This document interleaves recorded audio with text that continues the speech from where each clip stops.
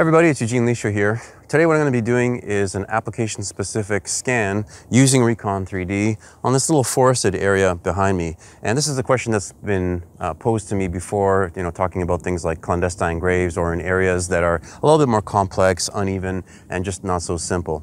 So before I even get started and I fire up the phone or the app here, um, I always like to consider the area that I'm going to be scanning first. So for example, you know, is it something like a car that's going to be shiny? Is it something that I can actually get around and walk around? Do I have to take alternate passes and things like that? So there's a number of things you have to consider.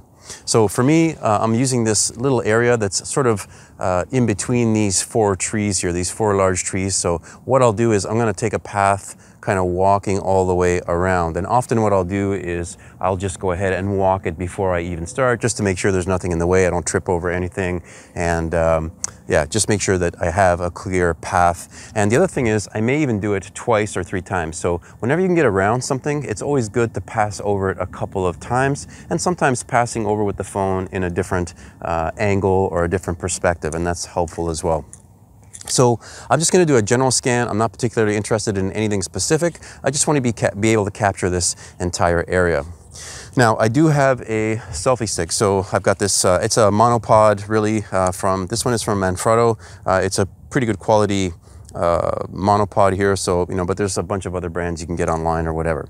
And what I am going to do is I'm going to extend this up and I'm going to have the phone pointing down a little bit. Okay. And the reason for that is I don't need to be up close. I mean, I could do it by hand and just kind of, you know, hold it in my hand. But when I get that elevation, the LiDAR sensor on the phone has about a five meter uh, you know, 15 foot um, range. And so if I'm at about a three or four foot range, that's ideal. And so I can increase my field of view and I can capture more data all at once. And so that's what I want to be able uh, to do. If I'm too close to the ground and I'm sort of walking like this, what's going to end up happening is I have to make more passes and I run the risk of missing a particular area. Now, I think I'm just going to try and do a couple of loops. I may actually, on the third one, just kind of go inside and walk around. And then finally at the very end, I think I'm going to end up at a position that I was already at. Okay, and that makes sure that you get sort of the same view. So when you're scanning with the phone, you have to think sort of in two things. One is that there's a LiDAR sensor here, so kind of like scanning with a LiDAR sensor. And the other one is with photogrammetry. And so those of you that are familiar with photogrammetry will know you have to take photos from different perspectives. So when you shoot or pass by, consider the video as kind of like the camera, just you know, moving in different positions. And so those are things you got to do. Okay, so let's get going here. I'm just going to set up my phone and we'll get moving. Okay, so what I'm going to do is I'm going to jump into Recon 3D and I'm going to set up for a project like this. So I'm going to go ahead, hit the plus sign to create a new scan, and I can just call this, oh, I don't know, maybe like trees or something like that, whatever. So I'll just call it trees. And I'm going to use the default setting. So the mode is standard. There's only one option as of right now. Um, and the other one is the scan density is five millimeters. I think that's going to be fine. I'm not going to be using targets for this one. And that's about it. I'm just going to save the scan settings and I'm all ready to go. So it's not really that hard. Um, I'm going to just adjust the selfie stick here, just tilt the camera down a little bit, and I'm going to start extending this up. And I'm going to try and maximize my field of view.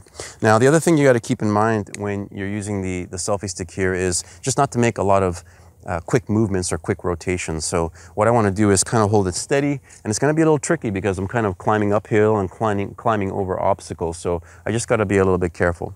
So I'm going to get this going right here and we're going to start scanning. I'm going to go ahead and hit record. Okay, so it's recording now. I'm just going to move this up and slowly get it high and I am now recording. I'm going to move up a bit higher. I'm going to get around this tree like this. All right, move back a bit again. Uh, sometimes people move really, really close and they want to get close to stuff, but I find that it's better when you're a little bit further away. So I'm going to go over this log like that. Okay. I'm going to move around. So I'm almost done the first loop already. So I just got to go around these couple of trees. Just got to be careful of branches, try to keep steady. And all right, that's my first loop. And I'm just gonna do another loop here. Okay, getting a little bit higher. Now this one I'm just gonna come in a little bit more, get some overlap. move in, I can move back. Okay, I'm gonna go around this tree again.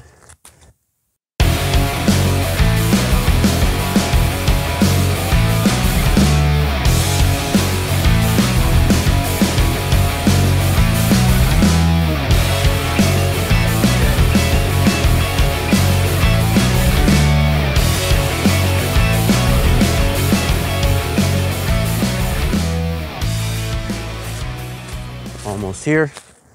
And I'm gonna stop right where I started. So right about here. I'm gonna take this down slowly and I'm just gonna hit stop. Okay, so now on the phone, it's asking me what do I wanna do.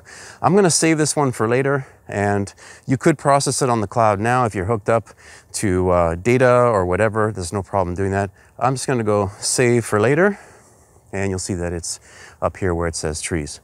So what I'm gonna do later is I'll show you how I process this and I'll show you what the data looks like. But that's a very simple uh, process here.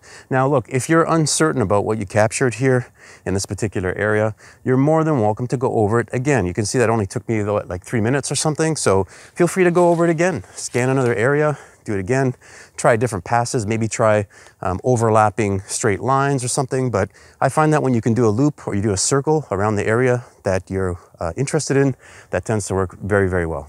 So multiple passes are really important and just keep that in mind and I'll show you what the data looks like soon. Thanks.